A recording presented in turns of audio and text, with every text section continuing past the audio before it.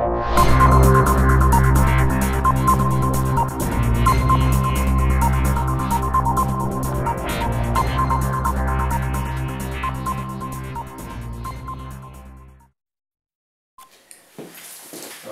mă aici. Bun.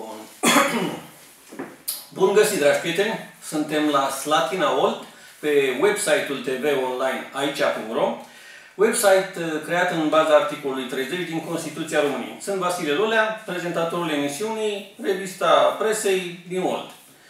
Uh, dragi prieteni, în primul rând vreau să vă spun că sunt supărat. Sunt supărat rău de tot. Foarte supărat. Uh, un comisar sau comisar șef de la Bruxelles, vorba lui Marin Morar, un actor și sălbaticii, Monsieur se scria, Monsieur se citea. Deci un comisar de la Bruxelles a zis că noi, ăstea, românii, suntem un popor neguvernabil. România este o țară neguvernabilă. Noi. Noi neguvernabili. Pe dar mi-am notat aici câteva realizări. Noi neguvernabili. Hm. Noi care hm, am ieșit din societatea socialistă și am intrat în cea democrat-capitalistă fără să știm ce e democrația, ce e capitalismul. Și noi suntem neguvernabili. Nu pot să cred așa ceva. Noi care ne-am bătut joc de avustia națională, de munca de 50 de ani a poporului român, nu pot să cred. Nu cred că suntem neguvernabili. Nu, nu, în niciun caz. Noi care am fost de acord cu guvernanții noștri să intrăm în Uniunea Europeană, fără să știm, fără să avem habar ce ne așteaptă peste un an, peste 5, peste 10, peste 15. Vreo șapte ani au trecut deja aproape. În sfârșit. Așa. Și noi care noi suntem neguvernabili. Noi care am realizat justiția independentă, păi mai independentă decât justiția asta când unul omoară 3-4 inși sau 2-3, eu știu, și ia o pedeapsă acolo mititică cu suspendare, iar altul care face o și șmechereală, că nu putem să-i spunem altfel. Nici măcar nu sunt mari evaziuni așa. Intră pe ani grei de închisoare în celulă, în loc să-i confiscăm jumătate. Sau întreaga avere, că la urmă urmei merită, nu? Ce nu merită? Merită, nu? A, să beau o grăc de apă. E apă, nu e vodka. Că noi suntem neguvernabili. Noi care participăm cu toții, tot poporul la jocul politic și din 4 în 4 ani, votăm aceeași guvernanță. adevărat, sub alte sigle, sub alte culori. Asta este neguvernabil. Mi-ar prinde tare bine acum o indemnizație de 1000 de euro pentru stres. Cum are ăla de la Poșta Română. Pardon, mă scuzați. Uh, General Manager. Omul are 1000 de euro pentru Stres, indemnizație pentru stres. Probabil că stresează mulțimea de secretare, de asistente, de șoferi și nu cred eu că îl interesează pe el ce se va întâmpla cu cei aproape 4.000 de, de salariați care până la sfârșitul anului vor rămâne cu familiile lor în stradă. Că îi vor pierde locul de muncă. De la o vârstă în jur de 35-40 de ani și cu slabe calificări, nu te angajează nimeni. Mai ales că nu te mai angajează nimeni că nu mai e de muncă în țara asta. Nu mai sunt locuri de muncă. Da, asta este altă poveste. Da, ce să facem? Niciodată veștile proaste nu vin singure și la slătine se scumpește apa.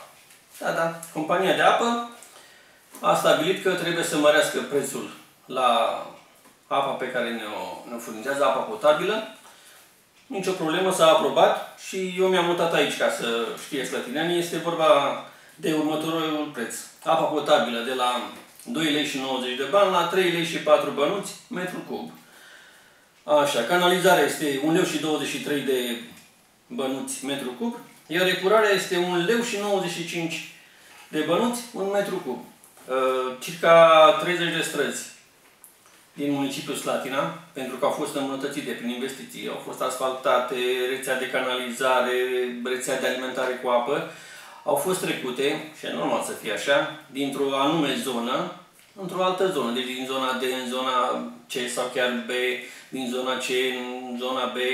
Și astfel, ă, toți cei care stau pe aceste 30 de străzi din Slatina vor plăti de la niște impozite ceva mai măricele. Da, asta e ce se face, nu se poate. Cu o moarte și cu niște impozite suntem datori cu toții. Amănunte despre străzile respective, cele 30 de străzi, le găsiți în, în presa locală sau în varianta electronică pe internet. Fiecare ziar uh, are o pagină sa și acolo găsiți uh, imediat ceea ce, ceea ce căutați. Ca o paranteză, pe la emisiunea viitoare o să mă ocup un pic și de publicațiile online. E foarte dificil. E mai ușor pe suport clasic, hârtie, să te ocupi, să citești. Eu am și din copilărie plăcerea aceasta de a simți hârtia, de a simți cernela tipografică. Dar promit că am să mă ocup de... Sunt o mulțime de publicații online la Slatina, cum ar fi uh, impact de Olt, concret în Olt, Olt alert, imperativ, impulsiv și așa mai departe.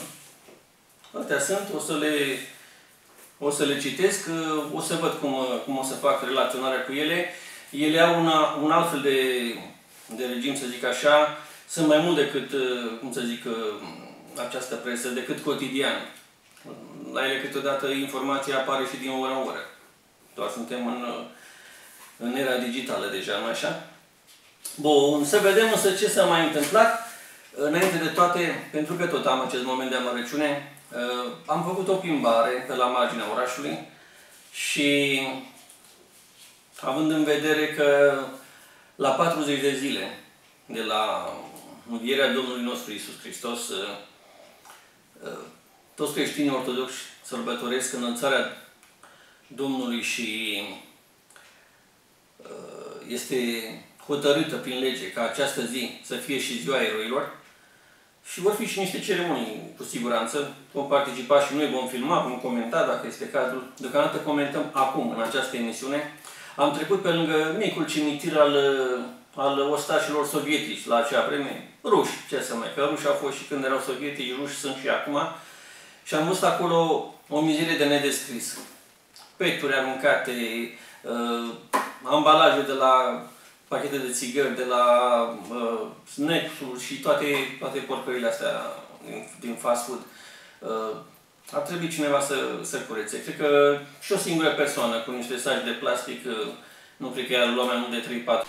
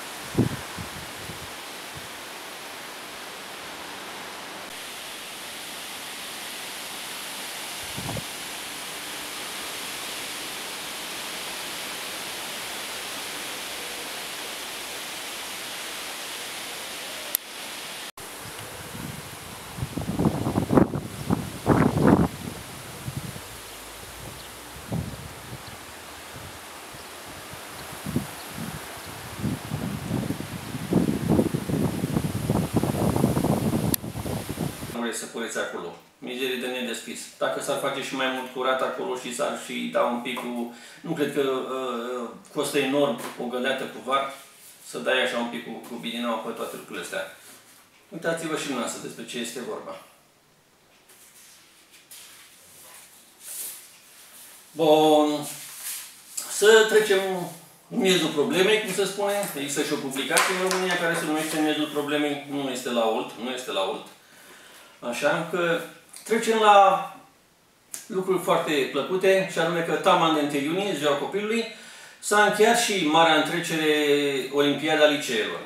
Pentru al doilea an consecutiv, această olimpiadă a fost câștigată de Colegiul Național Ion Minulescu. Felicitări lor, felicitări tuturor celorlalți elevi de la celelalte colegii și licee. Eu am participat la, în câteva zile la niște evenimente, la niște manifestări de ale lor Uh, sunt uh, uimit și bucuros în același timp de exuberanța lor, de, de dăruirea lor, de pasiunea lor, de tinerețea lor și de, de dorința de, de a face ceva, de a realiza ceva. Dumnezeu să-i ajute. Uh, o altă veste bună este că la Centrul Cultural al municipiului Slatina, unde și-au dat mâna acolo și au colaborat Centrul Cultural Eugen Ionescu, acesta este numele său, cu Școala Populară de Arte și Meseria Consiliului Județean cu Primăria și o mulțime de alții, Uh, colectivul de teatru care se ocupă acolo de, de a ne mai ridica așa ștacheta în ceea ce privește cultura, a pus în, în scenă Năpasta. A avut, uh, a avut loc premiera, joi seara, a fost uh, un mare succes, am văzut-o. Oamenii aceia, chiar dacă nu sunt profesioniști, joacă admirabil și invit slătinănii să meargă atunci când este acest spectacol să-l vadă. Vor avea niște momente deosebite.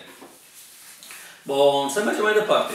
Încă o veste bună. Uh, Direcția pentru Protecția Copilului Olt a depus actele pentru a lua pe micuții frați stroie, știți care sunt, oia de cunoaște lumea întreagă cu așa, uh, să ia în clasament, adică să-i smulgă din, uh, era să zic, scuzați-mă, ghearele tatălui, dar așa trebuie interpretat până la urmă, un tată care exploatează, care pentru a avea venituri, pentru fel și fel de expediente publicitare, uh, chinuiește vieții copii. Copiii aceștia nu au copilărie, se pare că până la urmă și constituția lor fizică va suferi foarte mult din uh, aceste antrenamente deosebite, cu lanțuri, cu greutăți, cu ridicături și așa mai departe. Și a avut chiar reacții, reacții negative și dure de tot uh, tatălor, domnul Stroie, care cât poate să-l strângă decât pe domnul Cristian Lungu, directorul ajung de la Direcția pentru Protecția Copilului Olt. Bine, n-a reușit până la urmă, foarte bine că n-a reușit, că mai stătea și ăsta un număr de ani, nu știu pe unde, pe acolo. Sau poate cu justiția asta independentă, cine știe, poate lua cu suspendare, că doar avea familie de întreținut. În orice caz, săptămâna viitoare, uh, magistrații se vor, se vor pronunța și vor stabili ce se întâmplă cu, cu acești copii. Ca publicații săptămânale avem astăzi doar linia 1, care prezintă aici familia domnului Daniel Constantin. Eu nu cunoaște pe domnul Daniel Constantin. Așa. Este în cele 8 păginuțe foarte condensate se găsesc foarte multe interviuri interesante, le spun eu pentru că le-am citit și vă invit și pe dumneavoastră să-l citiți. Este interviu cu primarul orașul Drăgănești Tolt Pantelie Rotaru, interviu cu Cornel Ionescu, primarul comunist Titu, așa, un articol despre Fundația Mișcarea Populară și dreptul la optimism al românilor. Păi, credeam că avem dreptul la optimism și fără mișcare sau și cu mișcare. Bineînțeles că și medicii recomandă cât mai multă mișcare. Cu cât faci mai multă mișcare, cu atât ești mai optimist. Bun. Apoi o pagină întreagă de, dedicată guvernării liberale între anii 1933 și 1937 Probabil că într-o bună zi vom ajunge să citim și despre guvernarea liberală din uh, vremurile noastre. Și în final aici iarăși interviu cu senatorul Mihai Niță, președintele interimar al PC Olt, adică Partidul Conservator Olt. Așa, și un, uh, o schiere foarte mică, așa, flash, uh, cu și despre eurodeputatul Victor Boștinaru. Interesant, ca întotdeauna. Ziarul de Olt, ziarul de Olt care ne anunță central, așa și principal, faptul că la JFM Olt, uh, de acum celebru și se părea neclintitul director Cristi Cârloganu a fost, a fost mutat de acolo. Se pare că va veni o doamnă, se pare, vom vedea în câteva zile ce se va întâmpla. Se pare că uh, postul respectiv aparține Partidului Național Liberal din USL și și vor nominaliza pe cineva.